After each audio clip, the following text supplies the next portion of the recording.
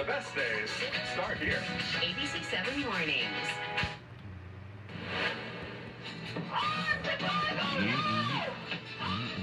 On ABC 7 News, protesters shout outside while inside, Vice President Kamala Harris holds a big money fundraiser at San Francisco's Fairmont Hotel. We hear from some of those who attended. I'm talking about a thought experiment here.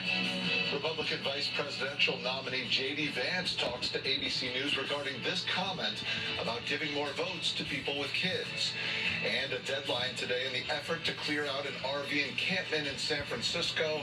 ABC 7 News starts now. Always live. ABC 7 News starts right now. Kamala Harris left San Francisco a few hours ago with an additional $12 million for the campaign after today's fundraiser.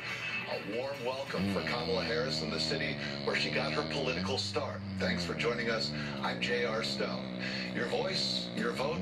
Kamala Harris's bid for the White House today focused on San Francisco. ABC 7 News reporter Cornell Bernard was in Nob Hill and spoke with some state and local politicians and Democratic supporters who attended today's fundraiser. Cornell? Mm. Yeah, JR. Kamala mm-hmm. Harris is back home in the Bay Area. Today's big money fundraiser, you said it, collecting $12 million for her campaign.